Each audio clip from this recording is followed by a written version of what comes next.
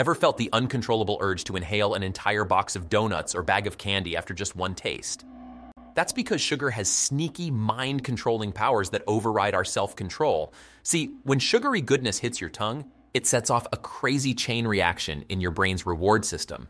This food pleasure pathway lights up like the 4th of July, releasing feel amazing neurotransmitters like dopamine that tell your brain, more please. But that's just the sugary siren song luring you closer to addiction. Here's the deeper science on how sugar ransacks your gray matter. Your taste buds detect sugar as an awesome calorie supermassive energy source.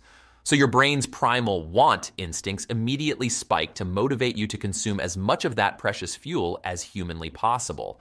Meanwhile, the sugar directly impacts your brain's reward circuitry by releasing opiate like compounds called endogenous opioid peptides.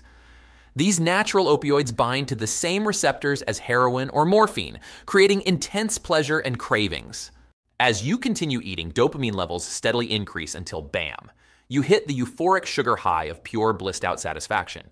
Like your brain just slammed an all natural dose of heroin from a cupcake. But here's where things get ugly and addictive.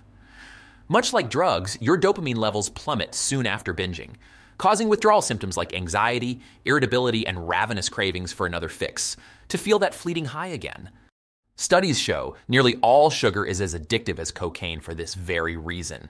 The constant peaks and crashes in dopamine create a vicious cycle of want, binge, and regret. Plus, regularly spiking insulin levels from so much sugar consumption causes your brain receptors to burn out over time requiring even more of the sweet stuff to feel its effects, aka building up a tolerance, just like a drug addict. On a scary real level, sugar also causes inflammation in brain regions critical for memory and cognition. Excess fructose literally slows your neuron's ability to communicate and process information. This brain fog effect gets worse with age as sugar accumulates in your gray matter. Some scientists suspect the cognitive decline mirrors the early stages of Alzheimer's or dementia. Honestly, the more we learn about sugar's brain draining effects, the scarier it becomes. From addiction pathways to destroying gray matter, no wonder the stuff is practically a controlled substance nowadays. But don't freak out yet.